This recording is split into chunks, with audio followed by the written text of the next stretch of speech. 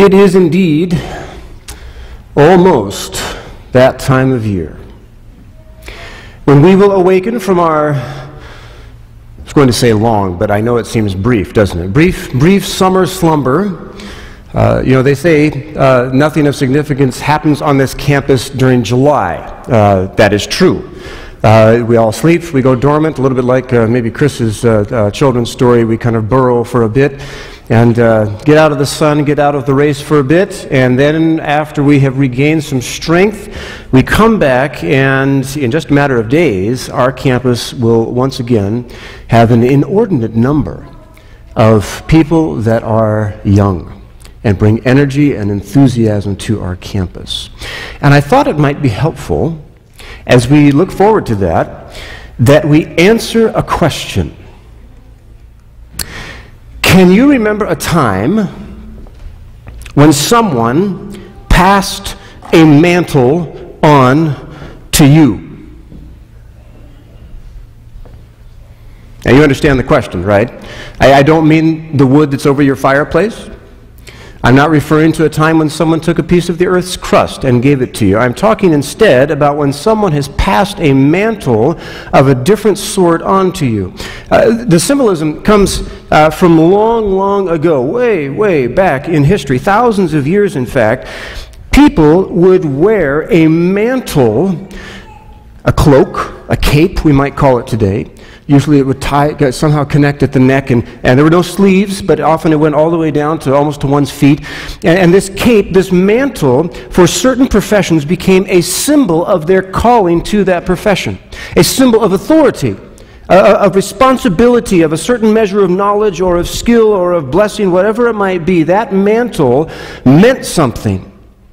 And so the saying came about Did you pass the mantle on? Usually we're talking about the next generation. Have you passed responsibility, this sense of calling, this, this body of knowledge and wisdom, etc.? Has that been passed on? Can you think of a time when someone passed a mantle on to you?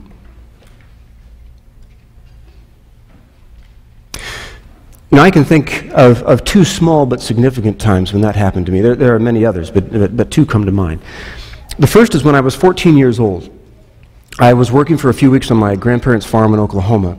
And Grandpa Fisher came to me and he said, Hey, listen, we've got all of our stuff covered, uh, but there is one job that I really need to get done, and I need someone to do it, and I think you're the guy. And he said, There's a pasture that's at the far end it's got a, uh, of our property. It's got a whole bunch of trees on it, many, many acres. So We want to turn that into a place that we can plant crops eventually. I need you to take the Jeep and I need you to take this five gallon bucket of poison pills and put three or four of those, this, this is pre-green days, okay, this is the old days, all right, and put three or four of these pills at the base of each one of those trees, and they'll die off, and in a couple years we'll be able to make this something that we can use for crops.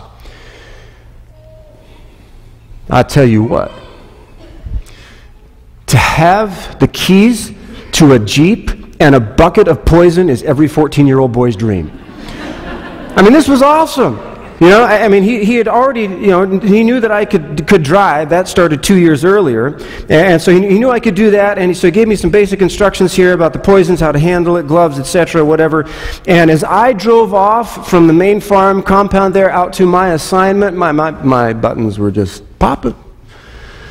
I had been mantled in just this little bit here, and it felt great. I had been given responsibility, a modicum of training. Now they said, You go use it. Second time I can remember is when I was probably about 17 years old. I had a very fresh driver's license in my wallet. And I had gotten a job, a summer job, working for uh, one of the professors at Oklahoma State University, actually at his private home there. Uh, fairly good sized home, decent estate there. There was quite a bit of construction, remodeling, etc., that he wanted to have done. And I was the gopher, I was the grunt, right? And so it was a job, I was taking it, but I needed to have a way to get there. And so when it finally came the day before, uh, I'm talking uh, with my dad and say, Well, you know, how, how do I get there? You're going to drop me off on your way to work? He said, Well, it's not exactly on the way. Tell you what, why don't you take the Healey. And I knew he didn't mean the race car because the race car wasn't street legal. I, was, I wasn't going to be able to take that. It's about a 20 minute drive to this professor's house. I knew that he meant the 1952 Austin Healey 104 that was in the garage. Now, now uh, I'm sure you all know about British sports cars, right? I mean, duh, everybody does, correct? Uh, so I'm just going to tell you what you already know. 1952 for that particular model is almost unheard of. Very, very few were made during that year. 1953 is when things really picked up. Today, if, if we still had the car in the family, we don't, but if we did, uh, 100 grand, piece of cake for one of those cars. And uh, Dad said, Why don't you take the Healey? Now I'm thinking over in my head, and the last thing you want to do is ask any questions. You just nod say, I think that's a good idea, Dad. Let's do that, right? And so for the whatever it was, three weeks, four weeks, maybe that I worked at that professor's house there every morning, I would get into the Healey and I'd fire it up and I would drive 20 minutes there and drive 20 minutes back. The best part of the job was going to it and leaving it. I mean, it was incredible. I, as I would drive away uh, through traffic on the highway, you know, you know, Dad had taught me how to take care of the thing. I knew how to take care of classic cars, right? How to work on them, etc. If something broke down, he knew I would take care of it. And to prove the point, he handed me those keys and said, "You take it." And both of those stories have in common a basic set of beliefs on the part of the ones granting this gift. They were saying, We've given you a bit of training. Now we're going to have you put it to use. There is some risk, but we think you can do it. And they passed a bit of a mantle onto me. And I was blessed. Those are some of my more fond memories from my childhood growing up. And if it's true for Jeeps and British sports cars, how much more true is it for spiritual things, things that really matter for eternity? In fact, I want to suggest to you that passing the mantle of faith on to the next generation is one of the most important and gratifying and satisfying things that can be done. In fact, this is why we voted something last year. You may remember this. Let me put it up on the screen here. We, there's three levels to our vision. This is the one that's closest to home here.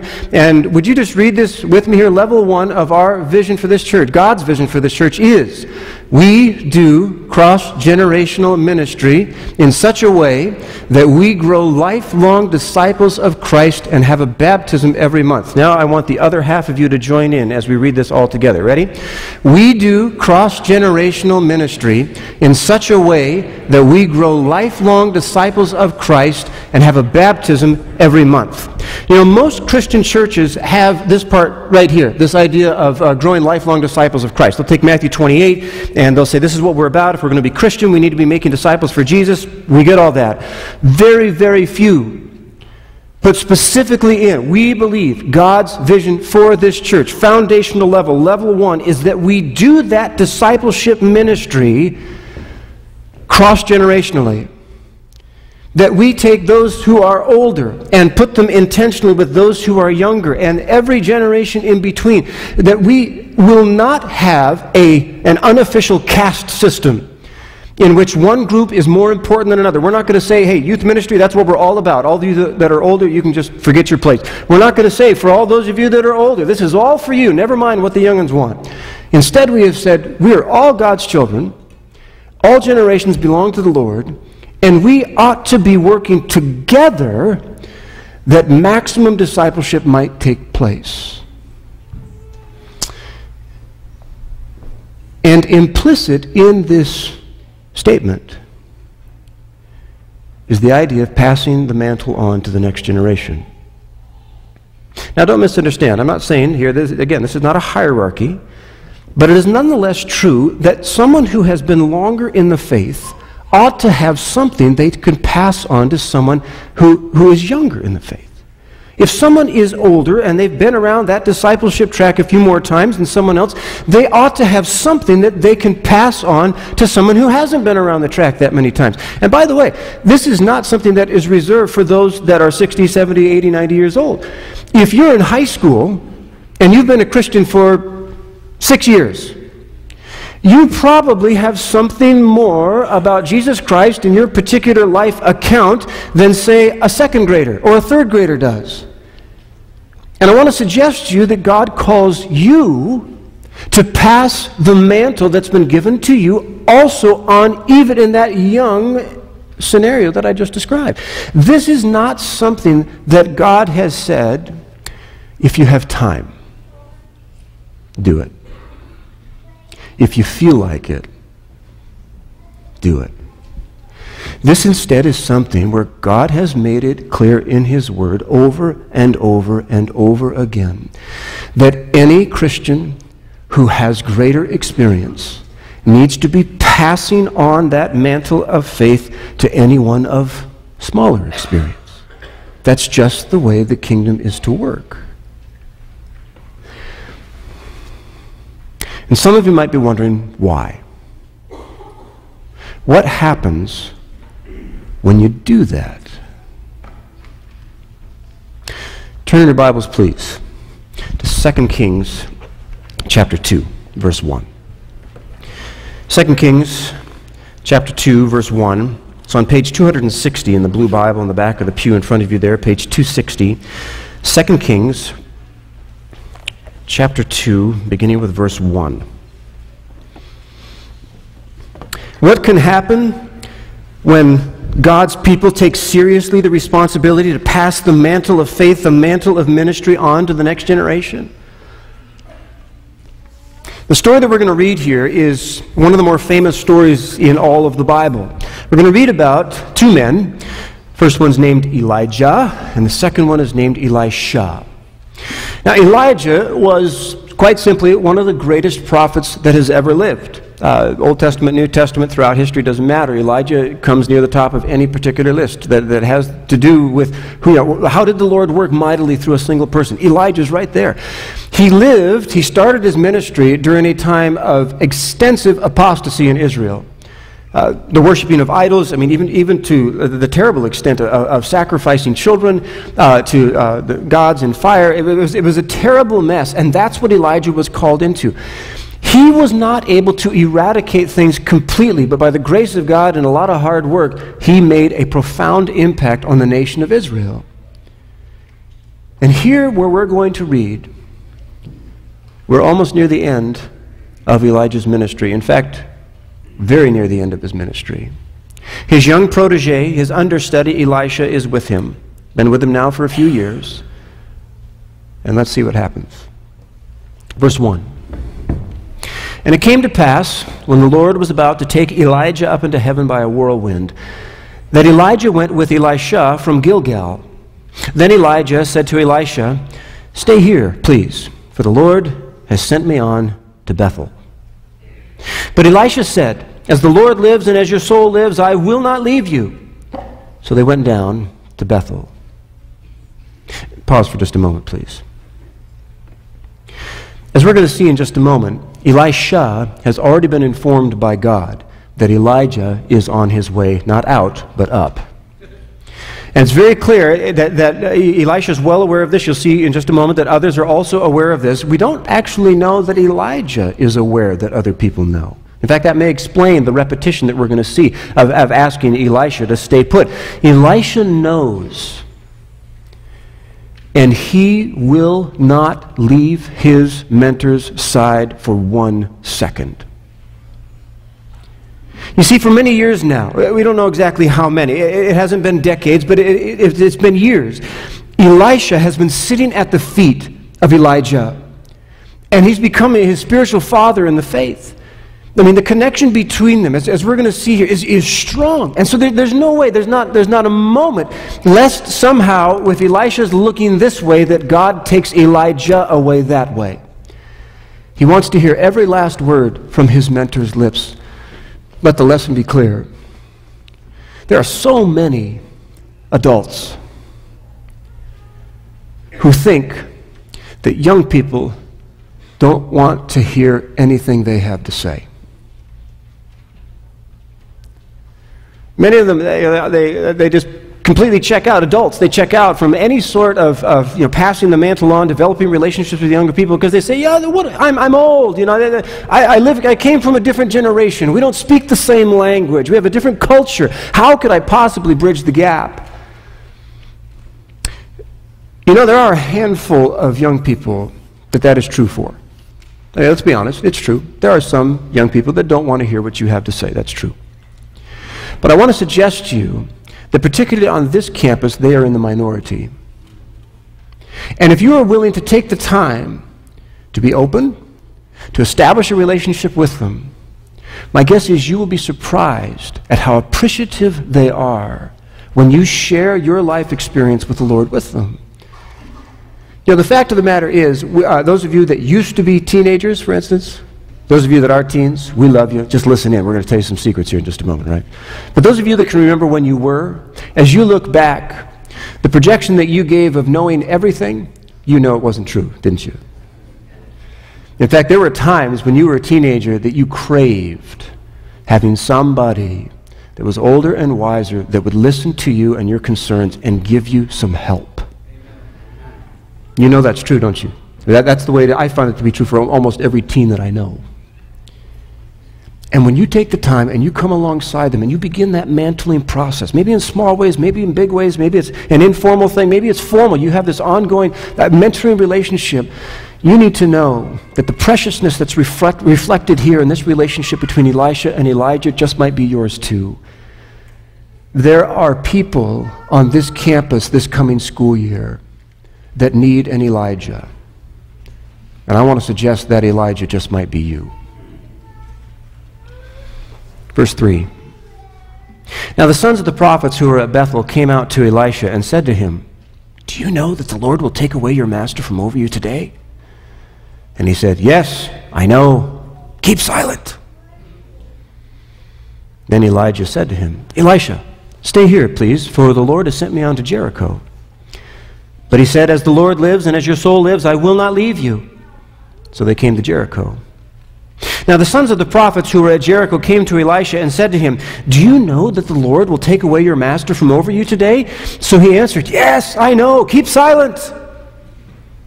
And by the way, in the Hebrew, uh, phonetically, the word there for keep silent sounds a great deal like our English word hush. I, I can't say that there's a direct connection, but uh, be assured, Elisha is a little bit irritated and said, Would you guys just shut up? I know what's happening. I know. He's leaving. Hush. Shh. Then Elijah said to him, Stay here, please, for the Lord has sent me on to the Jordan.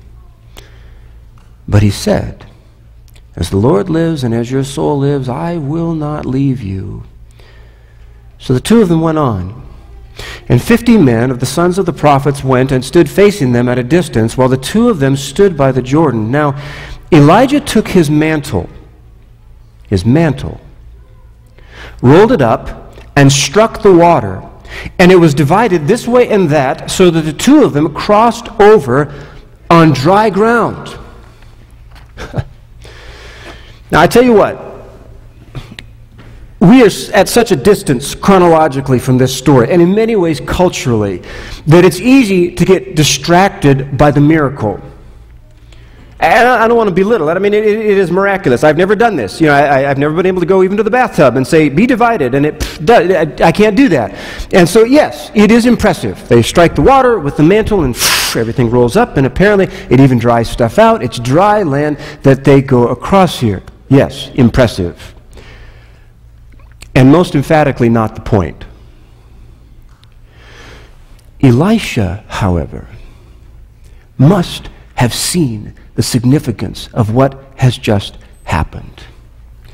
Because years earlier, there were some other Jews, some other children of Israel, that came to a body of water that was impassable. And at that time, a different prophet, not with a mantle this time, but with a rod, stretched it out over that body of water. And indeed, by the power of God, the winds came and it separated the Red Sea. And the children of God walked through on dry ground with the intent being that they were that close to entering the promised land.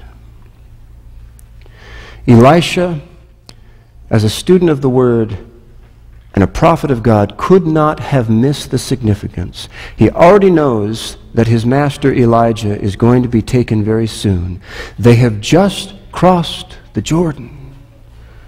The promised land must lie just on the other side for Elijah. And at this point, This is a little bit of my sanctified imagination here. You be the judge of whether or not it's correct. I think what, because of what comes next, I think it's correct. I think Elisha gets a little bit agitated. Have you ever had to be at a place where you're saying goodbye to somebody that you do not want to say goodbye to? And you know the feelings that come over you. Maybe you know. I think Elisha is thinking, "Ah, oh, it's going to happen. It's going to happen any time now. What, what, what, what can I say? Can he? Is there some? Is there some blessing that he can give to me? Is there something I should ask him about? I'm not going to be able to do this anymore. In just a, a short time, we're almost there. Can I get something? One last thing from my spiritual father in the faith." And perhaps seeing Elisha's agitation, Elijah breaks in. Verse 9 And so it was when they had crossed over that Elijah said to Elisha, Ask, what may I do for you before I am taken away from you? Elisha, who has now apparently found his voice, said, Please, let a double portion of your Spirit be upon me. You know, there are at least two ways to look at Elisha's request.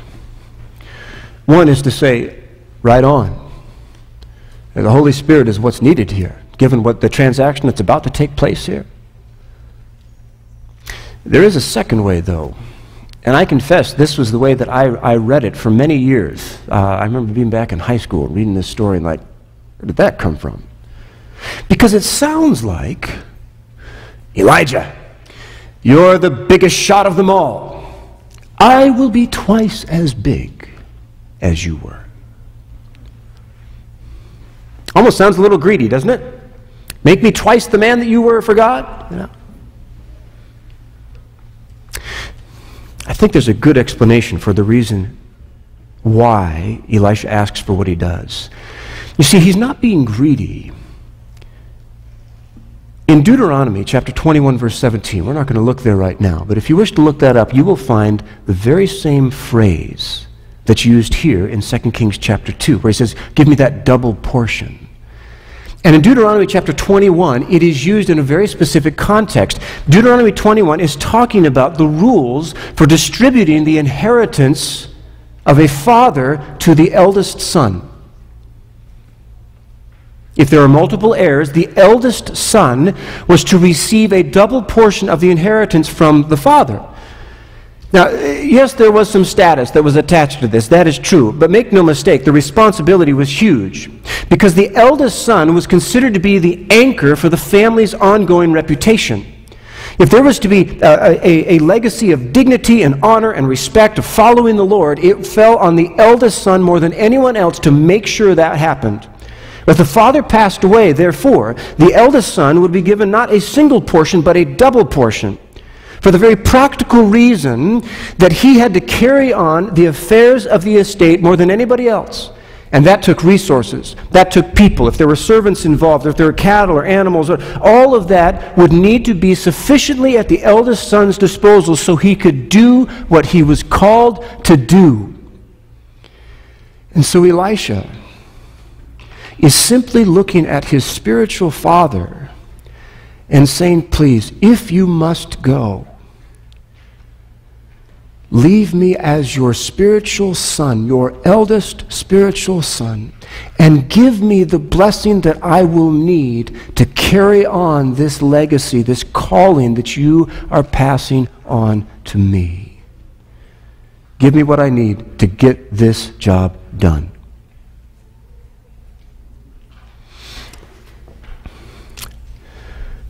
And the next part of the story doesn't quite seem to jive. Because the very next thing that Elijah says is what? What does it say? You have asked a hard thing.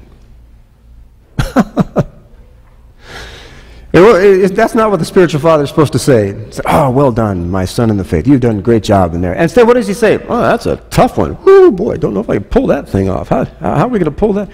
In fact, he even puts conditions on it here. What does he say? Uh, he says, uh, uh, You have asked uh, a hard thing. Nevertheless, if you see me when I am taken from you, it shall be so for you, but if not, it shall not be so. Is it hard for God to give his spirit? I don't think there's any committees he has to run that through. I think it's pretty much a solitary decision. He can take care of that, just like that. What is Elijah saying here? You know, I think there's, I think there's two possibilities. I think first, Elijah may just be pointing out the fact that he is not the one who qualifies those who are called for ministry. That is God's job. Elisha asks for a double portion of his spirit. And this, this is not a humanistic thing. He's clearly speaking about the Spirit of God.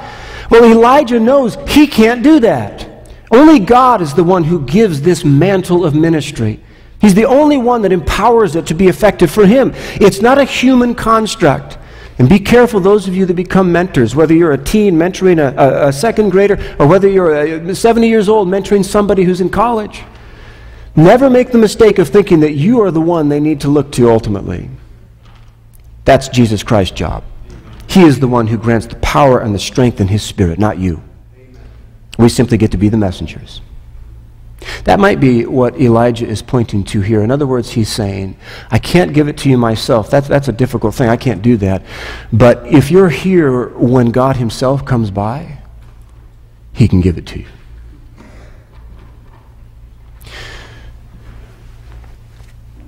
And there is a second option.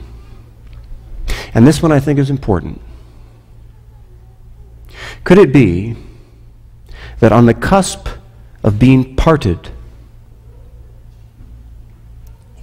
where Elisha will no longer see his mentor, at least in that lifetime, could it be that Elijah is simply pointing out that ministry, that faith, that walking with and for God is sometimes really hard.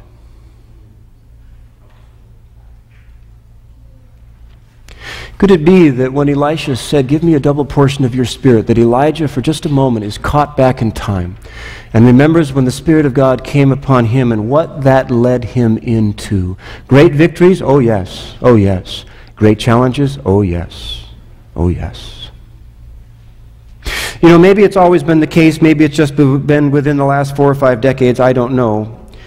But too often I will hear people, specifically that are speaking to groups of young people. Maybe it's a, you know, a, a, large gathering somewhere in the nation, and, and, youth or young adults will gather together, and there will be a well intended, sincere speaker that will say something like this Just give God a little opening, and He'll take care of the rest in your life.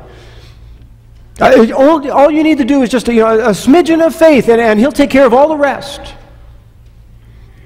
And you know what? The entrance into the Christian life may well be described accurately in those terms. It is true, you cannot work your way into the kingdom of God. It's a gift of Jesus Christ. Of course it is. And if you think that it's all just easy, breezy, cruising downhill after that, you're in for a rough ride. Because you see, Jesus will take us just as we are. Absolutely. And He loves us too much to leave us there. And so he's going to take us on the ride of our lives. And sometimes it's going to cost. And I think when we soft pedal the Christian faith and ministry to young people, we say, oh, it's a piece of cake, just give a little. I think what happens, there's two things that can happen. Neither one of them are any good. One, the first, the, the first group uh, uh, of young people, the first time that they hit a major snag in ministry, they bail out.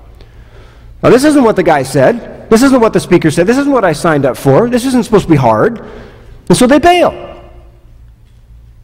And then there's a second group. There's a second group of young people that understand that when we talk about God, we're talking about everything. We are talking about committing every last ounce of who we are to the work of Jesus Christ. And it will take everything that we have and there are young people that know that if it's really worth doing, it will demand of them everything they have. And if they are in a church that doesn't demand that of them, they will go someplace else that will demand it of them. Because they know if it's real, if it's really involving God, then it must also involve all of them. And sometimes that's going to mean war. The fact of the matter is, is that in Christian ministry, there are great joys, there are great triumphs to be had, no doubt about it. And in the end, God wins and we will go with him. But along the way, there are going to be times when the price is sky high and it will take everything that we have laid on the altar before Jesus Christ. And I can't help but wonder if Elijah is just looking one last time at Elisha and saying, You've asked for the right thing. You're going to carry on where I've left off. And God is going to give you his spirit. And be careful because it's going to cost you. It's worth it. Do it. And it's going to cost you. We need to be honest when we talk about the cost because things that are of true value, eternal value, will take all that we are. The conversation continues. I wish that we could, I wish we had on record even the small talk, whatever it was that was being said between them, but we don't. At last, though, the conversation comes to an end. And this is what we find in verse 11. Then it happened, as they continued on and talked, that suddenly a chariot of fire appeared with horses of fire and separated the two of them. And Elijah went up by a whirlwind into heaven. And Elisha saw it, and he cried out, My father, my father, the chariot of Israel and its horsemen. So he saw him no more. And he took hold of his own clothes and tore them into two pieces.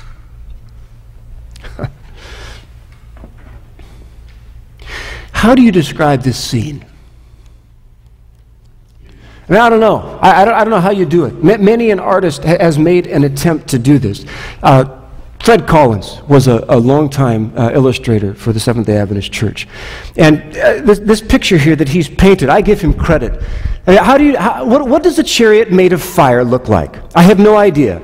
What do horses that are made of fire look like? I have no idea. Uh, here you, you, see this representation here. This chariot of fire comes down, and Elisha is there watching and seeing this. And apparently, this, this is just astonishing to think about. Uh, apparently, the fiery chariot comes so close I mean, they're walking side by side. This is not a time when Elijah and Elisha are 20 feet apart, you know, playing football or something. They, they are right shoulder to shoulder. And the chariot comes down so close, and heaven brushes Elisha and picks up Elijah, and up, up he goes. I have no idea what I would say under those circumstances. I have no idea. And it kind of sounds almost like Elisha isn't sure either. I mean, the, the first thing he realizes is, is Elijah is on his way. He's leaving him. My father, my father. And then apparently overwhelmed by the glory of God. I mean, you understand the symbolism here? A chariot is used as a symbol of God's might and power many times in the Old Testament. If there is an enemy that has oppressed God's people and God's patience is finally done, and he goes in and he says, I am now going to avenge for my people, he's often symbolized as coming down in this mighty chariot, thundering through the skies. And now Elisha sees it with his own two eyes the horseman in the chariot of Israel. God himself has come by. And this part of the story ends in what is, it's the most puzzling way. Because it says that he took his clothes and he ripped them in two. You say, well, that's, that's no great mystery, Shane. Uh, uh, even today, uh, in, in, in that part of the world, if someone is really upset, they'll tear their clothes. They'll put you know, the, the, whole idea of sackcloth and ashes, dust on their heads, you know, symbolizing t- tremendous grief. You know, that could be part of it here. Could be part of it. He, he doesn't know what to do. He's overwhelmed with emotion. His, his spiritual father's being taken away, and he rips his clothes in two.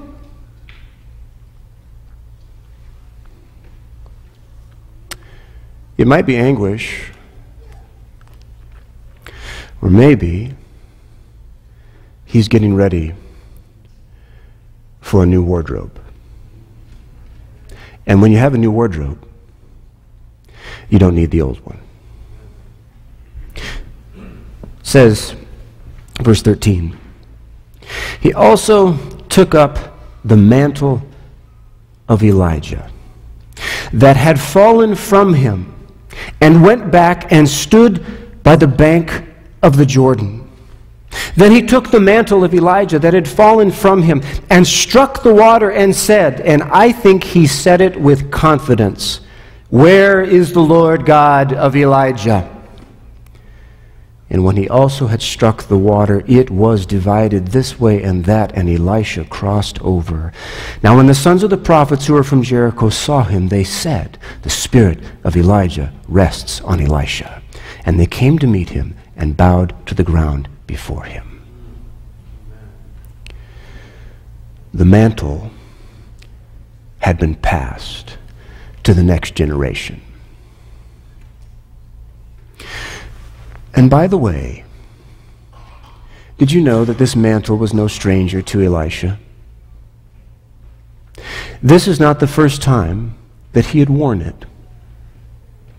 If we had the time, we might look back at 1 Kings chapter 19, where there is a story of an old prophet named Elijah who was in the final years of his ministry and the Lord revealed to him, It's time for you to find a successor, one of my choosing. And he showed him the family farm of a young man named Elisha. And Elisha was out in the field, the Bible tells us, plowing with the oxen. And Elijah comes up and, without saying a word, takes off his mantle and puts it on the shoulders of Elisha. And the first words out of Elijah's mouth what have I done to you? In other words, do you understand what this mantle means? And for the next many years, Elijah teaches Elisha, mantling him bit by bit by bit, teaching him this, showing him that, entrusting him with this responsibility, and letting him go, making errors, helping to correct them. And finally, the day comes when the mantle is passed and Elisha now has sole possession of that mantle. Elisha would go on to have one of the most fruitful ministries in all of the Old Testament. There are few people that God used more than Elisha. And as we look at his life and we see the miracles that were wrought, the kings that were successfully faced, the idolatry that was successfully taken away, the witness for God that was successfully given, we are forced to draw a hard and fast conclusion. It never would have happened except someone who was older and more experienced in the faith took under their wing someone who was younger and less experienced in the faith. That's where Elisha and the results from his ministry came from. Someone passed the mantle on. I have good news for you.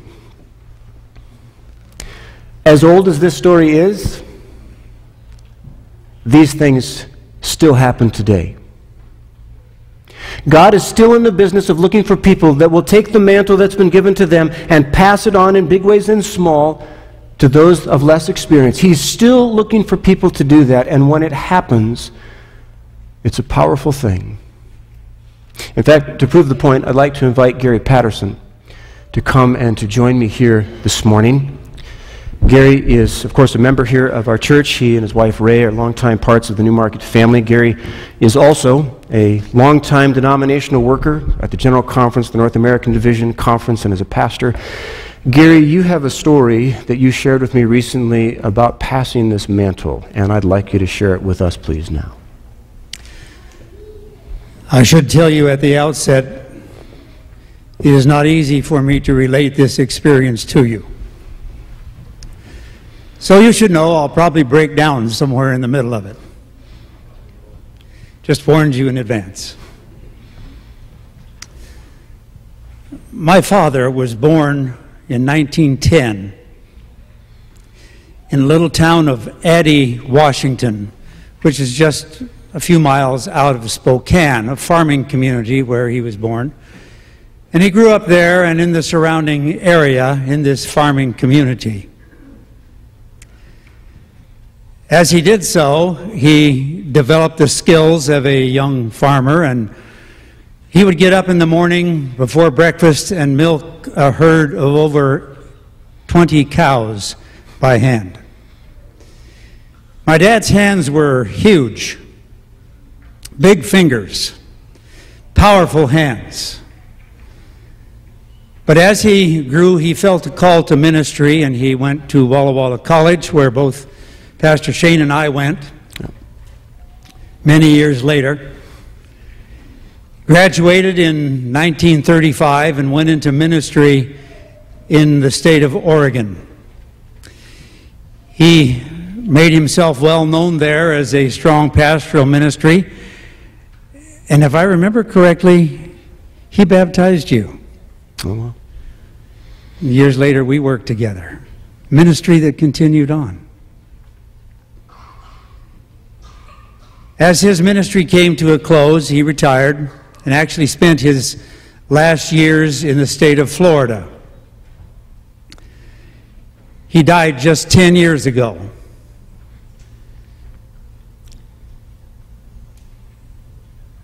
When he came to the latter part of his life, he was blessed with a mind that was still sharp and accurate to the very end.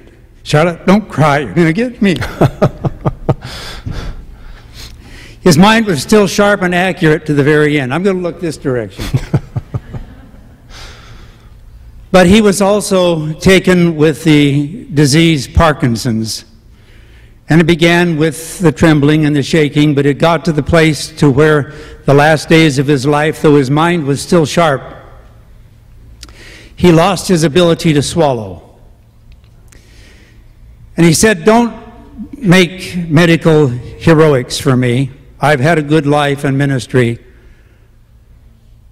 Don't do things to prolong my life. Just let me go. And I would try to help him. I would take a straw and I would dip it in his glass of water, ice water, and to help his parched mouth and throat, I would put my thumb over the end of the straw and just drop little drops of water into his mouth. And he would choke on that little bit of water. So he lost his ability to speak, he lost his ability to move, and he was transferred each day, those last few days, from his bed in the morning. The aides would come in and they would move him to a large recliner type chair, and in the evening they would move him back to the bed because he was not able to move or to speak. I called my son Jeff, who many of you know, who is a graduate of this school and institution here. And I said, Jeff, Grandpa is not going to live long.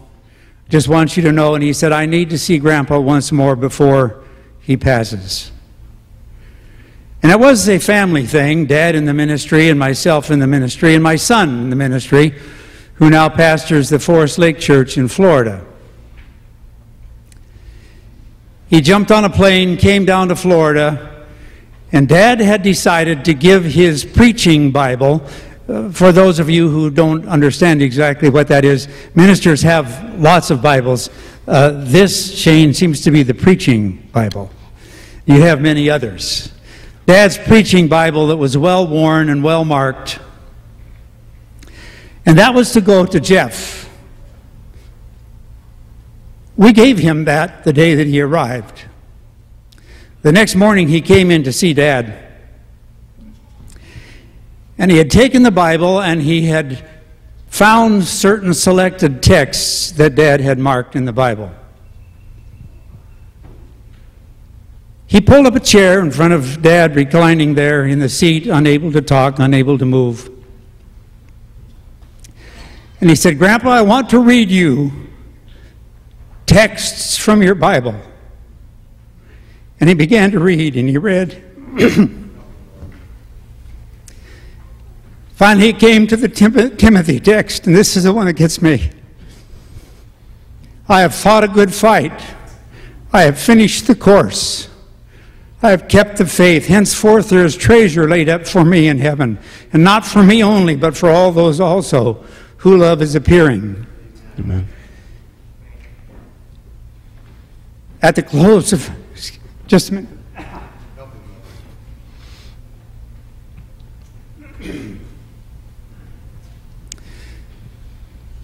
At the close of reading that text, Jeff was overcome with emotion. He bent forward toward Dad and began to sob. Then the miracle happened. Dad, who had not been able to talk, not been able to move, rose up out of his chair, placed his hand on the head of his grandson, and began to pray in that clear, powerful voice that he had used through his years of ministry. And he passed the mantle. For two or three minutes, he prayed in this powerful voice. And when he was done, he slumped back into his chair. And as far as we know, never spoke another word till he closed his eyes in sleep, waiting for the coming of the Lord. Well, we say, why don't we see things like Elisha saw? The chariot of the Lord and the horseman, the fiery chariot. And then I thought to myself, what is the next thing the dead sees? He sees the chariots of the Lord, not just one, come for Elisha, but thousands of them when Jesus comes. Amen. The heaven will be filled with it. Passing of the mantle is a God thing. It is accompanied by the miraculous. You may not always see it, but it is always there because it is not something you do, it is something that God does through you. Amen. Amen.